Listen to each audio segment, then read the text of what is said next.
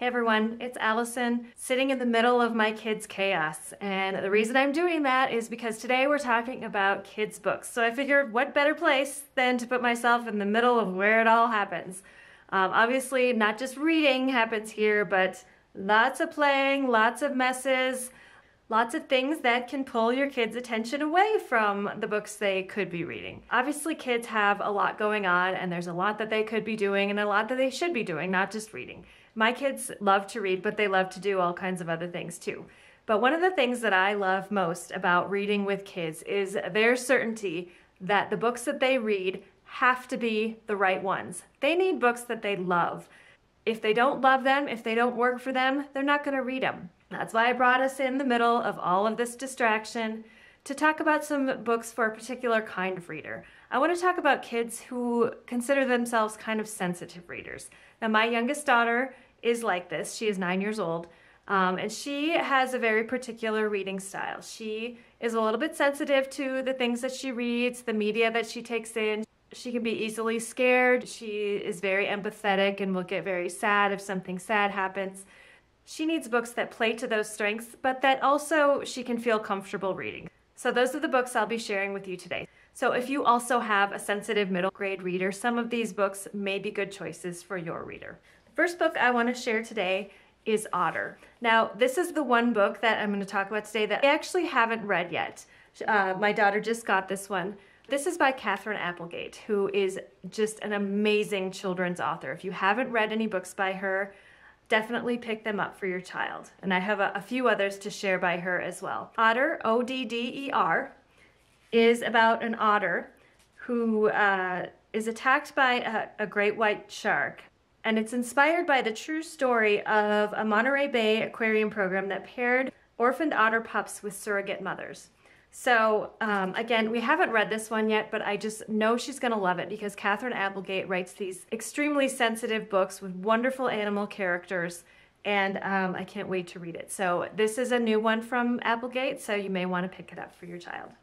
The next one that my daughter has loved is called The Antidotes. Now, my daughter has kind of a scientific mind. She loves anything science related.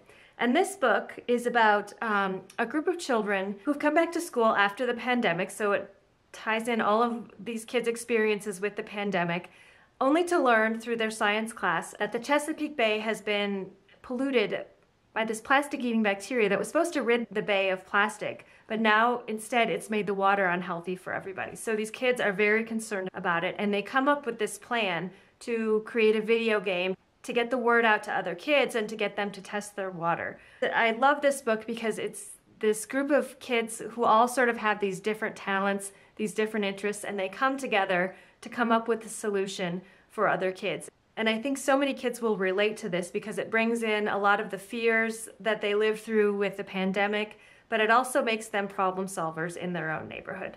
And my daughter is loving this book as a scientist herself. Uh, that again is called The Antidotes Pollution Solution. Another series that I want to share is um, this one. There are two books in this series Ways to Grow Love and Ways to Make Sunshine, and they're both by Renee Watson. And it's about this sweet girl named Ryan who's going through a lot of changes in her family. Her her dad has lost his job, so her family's had to move to a new house. And then her mother um, is going to have a baby, so she's got to adjust to all of those changes. I think it's relatable to a lot of kids who go through a lot of changes in their lives and they're trying to figure out how to be good family members, good daughters, good sisters, good friends, while keeping kind of a positive outlook. So, this again is Ways to Grow Love and Ways to Make Sunshine. Next book my daughters enjoyed is called Maybe, Maybe Marisol Rainey. It's by Erin Entrada Kelly. And she is just a wonderful author. This is about a girl who has a lot of fears in her life. Um, and it kind of makes her afraid to even try things with her friends. So um, it's kind of a simple story for early elementary readers about how she goes about trying to conquer those fears. And if you like this one, Erin Entrada Kelly is just this wonderful author. She also wrote this book that I love called We Dream of Space, which is kind of historical fiction for maybe a little bit older elementary reader, uh, set during the time of the, the Challenger disaster. And it's another great one for kids who are working through understanding some of the great disasters in our history, and it's a really sensitive look at that topic. So that's another one, We Dream of Space, along with maybe, maybe Marisol Rainey. The next one is Luna Howls at the Moon. This is a really sweet book about a therapy dog who works with a group of children who are in therapy for various reasons. And they have this group therapy once a week um, where they all kind of get together and, and talk about different things. And one week, one of the children does not show up. So the kids sneak out along with Luna to go and find their friend who did not show up to therapy. Now they go on this big adventure and we're, we're kind of inside Luna's head. And she feels like she has to protect those kids and make sure that they get to where they're going safely and get back to their parents and their therapist safely. This is a great book for animal lovers. Um, it's also a great book to kind of give kids a peek into the difficulties of some of their peers. Maybe if kids are going through some of the same difficulties as these kids in the books, it could also be very relatable. Um, we loved reading this one. We loved Luna. She's a very sweet dog. This is a great one for sensitive readers. The next one is called Ranger in Time. Escape from the Twin Towers. Now, I actually haven't read this one with my daughter, but she's been reading it. This is a great little series for younger readers, this Ranger in Time series. It kind of gives them another entry into some of these disasters. You know, it can be difficult to talk to our kids about things like 9 11, some other historical topics, but when they have a dog kind of bringing them into, into the story, it kind of helps them understand and helps them learn about these historical events in maybe a way that's not quite so upsetting uh, if they just kind of got the facts that wasn't softened by, you know, a wonderful dog character and other children in the story. It looks like there are also books about D-Day and Hurricane Katrina, the Titanic, and um, one called Night of Soldiers and Spies, which I um, am guessing is kind of a, a war novel. So that again is Ranger in Time, a whole series of books about various historical events. I promised more Katherine Applegate, and I have a couple here. I've got the one and only Ivan and the one and only Bob. Now, you've probably heard of these books. There is a third book in this series coming up called The One and Only Ruby, and we are so excited to read that one. This, again, um, is another wonderful Katherine Applegate series about animals, and it also inspired by the story of a gorilla who was held in a mall. Um, kind of as an attraction. And Bob is his little dog friend in this second book. Um, we loved being inside Ivan's head in the first book and Bob's in the second, and we know that we will love following the story with their friend Ruby, who is a young elephant in the third book. So if you have not read these books, please pick them up. And I think there's also a movie along with the, these. We have not watched that yet, but we're very excited about these. These were some of our favorite books to read together just a great series for empathetic kids. Again, kids who love science, love to read about animals. Um, my daughter adored these books. Some other books that she loves to read, she likes more kind of lighthearted books. She really enjoys the Babysitter's Little Sister books, which have been around for ages. Um, she actually likes to read the graphic novels first, and then she loves to read the, um, the text the text version of those novels. And Karen is just kind of a relatable character for for kids. She kind of gets herself into trouble. She doesn't always do the right thing. And my daughter really enjoys following along with Karen's stories. She likes the easy reading of the graphic novels first, and then she loves diving into the longer version to kind of experience the story again, but in a different way. That again is the Babysitter's Little Sister series, which you have probably heard of, but definitely still popular and still loved today.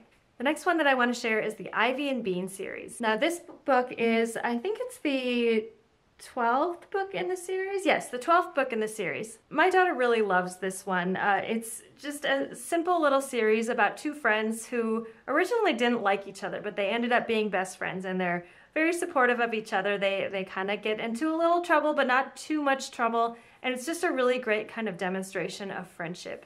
Um, I like this better than the Junie B. Jones series. I feel like Junie has a little bit of an edge that my daughter doesn't really relate to. But Ivy and Bean are very sweet. Um, they are not perfect. They they do get into trouble with one another, but they're very um, good friends to each other. And she is always excited when we find a new Ivy and Bean book to read.